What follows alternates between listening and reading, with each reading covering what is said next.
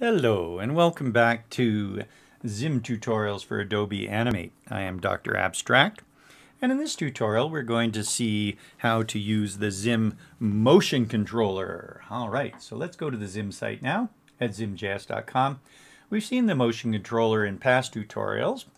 I think it was when we were looking at sprites for instance. So under collections here we've got a collection specifically for the motion controller and indeed there's a sprite butterfly.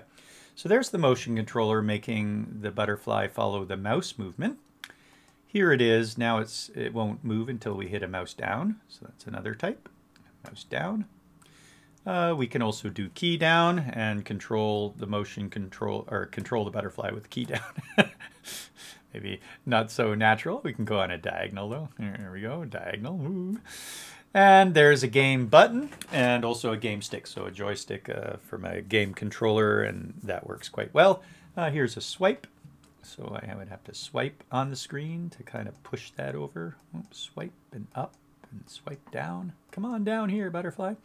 But the mouse move works fine on a touch screen too. So here I am using my finger now instead of a, uh, mouse and it's following. So this works quite well on a touch screen the, just the mouse move. So let's go see how to use these in Animate then. We'll reduce this down. Just close that. Oh, we're going to control a car. Nice. So that's a movie clip on the screen there with or on the stage with uh, instance name of car so that we can control it with code. I've also made the stage white because the car came from the web and I didn't bother getting the background parent trans uh, PNG. So uh, anyway, you'll want to get a PNG background transparent probably for that. And let's go in and take a look at some code, F9. We will call this Zim-25. Woo! We're almost at our 30 that we plan to go to. And this one will be called Motion Controller. So that looks like this. New Motion Controller this dot car. And let's have a look. Oh, I know what we forgot to do. Do you know? We forgot to bring in Zim. Okay. So uh, under the more settings here, we can bring in the HTML, uh, import the template, Zim Shim, like that. We could have imported that. That came from the zip file that we showed you way back in the first lesson. But under basics, we want to do a couple things here too. So in the end, in the first lesson, we created a profile and exported it. Now we're going to import that profile. So there we go. We have Zim Shim has come in and we have our stage like we like it. We hit OK. And Control Enter, try that again. Now when we press, our car goes to that location. Ooh, the sideways hovering car. Okay, so not quite um, natural, we could say, but that was the, the press, um, or the, the default one, which is mouse down. Okay, F9, where did F9 go? There we are. So we can basically say, hey, instead of that, let's use a mouse move. So this is the type right here. Also, I want to see where we're moving on the stage. So I want to set an outer color to the frame. Uh, in Zim, we're given F for the frame. We're given S for the stage. We're given W for the stage width. And we're given height for the stage height. We want to control the frames dot outer color is equal to gray. That's a Zim color gray. There's also, if you put quotes around it, it would be HTML, or you could use quote, number sign, whatever, to get colors. But uh, if you don't put anything, it's a Zim color. And we go Control Enter. There's our outer color gray. Oh, and look, uh, while we move the mouse here, the car is following it. Uh, but what we want really is the car to orient itself in the direction that we're moving. So let's go take a look at, um, back on the Zim site here, we will go just up to features, reduce that down a bit, into docs.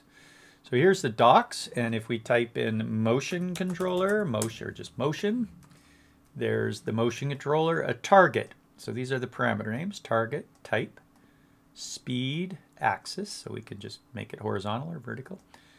boundary. We can stop it from going off the stage or, or whatever we want. Uh, map is uh, which keys we're going to use, I think. Diagonal, damp, flip, orient. Okay, so there's orient. Here's this first person as well, which will really help us when we go to the key, key down version. That'll be our final version we'll head to. So uh, that's a little bit about it. You can read about those parameters and see examples down here. Those are all the different things we can set to. And so what we'll do is we'll put the squiggly brackets in here. We'll use the ZimDuo technique to, instead of using regular parameters like that and having to go null, null, null, null, null until we finally found our orient, we're going to put squiggly brackets around. We'll drop them down like so. This one is the target, is this dot car, the type, and now we put in the names of the parameters here, comma, orient, colon, true. That. Let's have a look. Ooh, okay, that's better.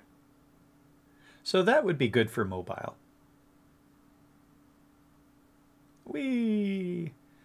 So as we as we put our finger down, the car will follow our finger, and we can adjust the speed of that, etc. Crash, crash. Well, crashed up here at the top.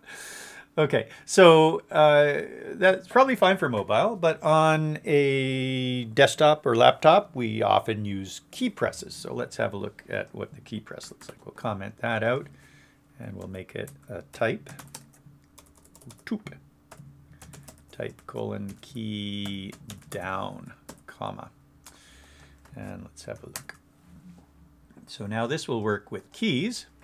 Left, right, left, up, oh, about an angle. Okay, but it's a little bit, um, you know, a little bit uh, left, right, up, down. What do we call that? Anyway, it's not as fluid as we might desire. But that would work well for a game where, say, you had a character down here and you're catching stuff. You're catching things that are falling. Or if you were on a, a board that just has squares to move that way. Let's try, though, instead, or as well as all this to add in first person colon true like that and see what happens. I think you'll like this. Oh, we won't quite like it. First person is ready to go forward, up. So it's ready to go up like that. And so it, it looks like that. So right now it's all broken because the car is going sideways. So in other words, we have to adjust the car a little bit to help out with the default here. The best way to do this is go into the car itself and rotate the shape in here. So there we're rotating the shape. Pick the shape up and put it so that it's it's right here. Otherwise you'll have um, alignment issues. So you see how it's right on the zero zero.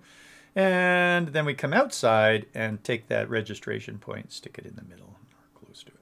Ah, get it there. Okay.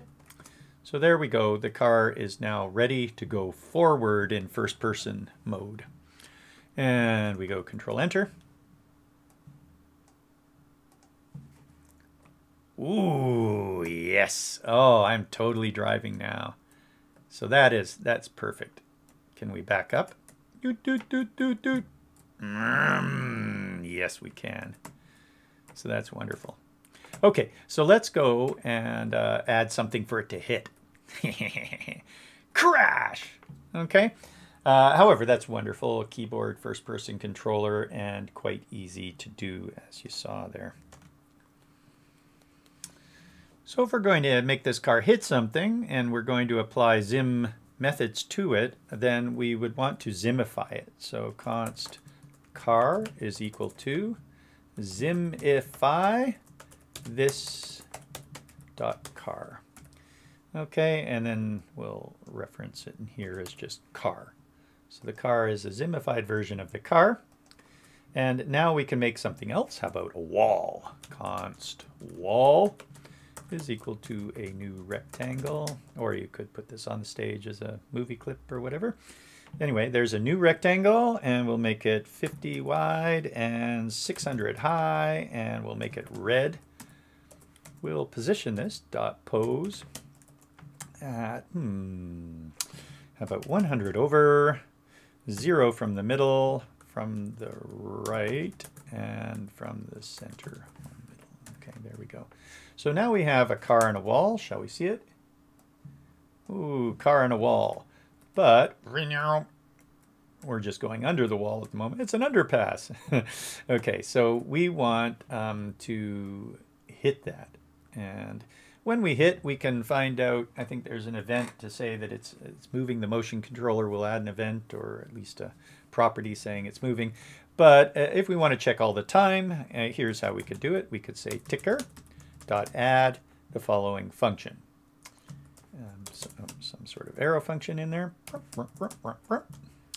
like so. And what the ticker is, is it runs at the frame rate. Uh, ticker was given to us by CreateJS. It's like an enter frame, kind of. It runs at the frame rate. Uh, we've adjusted the ticker, though. This is a Zim ticker. And the Zim ticker, there's a single ticker. And what it does is it handles all of the an Zim animate. It handles dragging. It handles wiggle, etc. And at the end of this queue, and here we can add functions to it as well, and that just adds them to the queue a list of functions to run. At the end, there's a single stage.update. And so that's how we uh, are efficient. We manage only a single stage.update at the end of the ticker. if there's nothing in the ticker, no stage.updates. So here we are adding a function to the ticker. And in this function, we'll test if the car dot hit test. Oh, we haven't done hit test. Hit test bounds. There's lots of different types of hit tests. Uh, the wall. So this is asking, is the rectangle around the car hitting the rectangle around the wall? Which is a good one because both these shapes are quite rectangular. Um, but there's maybe nine different types of hit tests. We should do a tutorial on that. So yeah, let's do the next tutorial on the Zim hit test. So look forward to that. But for now, if the car is hitting the wall, what shall we do? How about wall dot remove from? Ticker will be applying a stage.update, so we don't need to worry about that. And are you ready? Bum bum bum.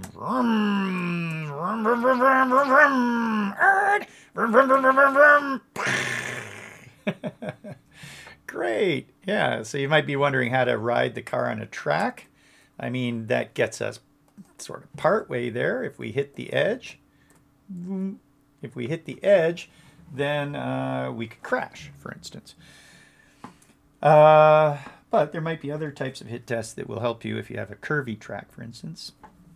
And in the end, often riding around a track might be easier to do with physics, where it just sort of bumps off the wall a little bit and you can continue moving with forces. We'll show you physics in a future tutorial. Great. Okay, we got some tutorials mapped up, huh? Wow. Anyway, do you like that? Isn't that nice? I am Dr. Abstract, and if we want, we can just review this code one more time, see how easy it was. We have a car. We have a motion controller. There's a variety of different things that we can do to control that car. It's really nice to see it with a joystick as well, works fine. And then we added a hit test to find out if it was hitting, and we removed. And we're going to take a tutorial about hit test next.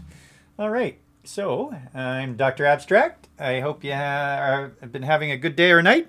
You're welcome to join us at zimjs.com slash slack, zimjs.com slash discord. We'd love to hear from you there or on the Adobe community forums as well. All the best. Cheers.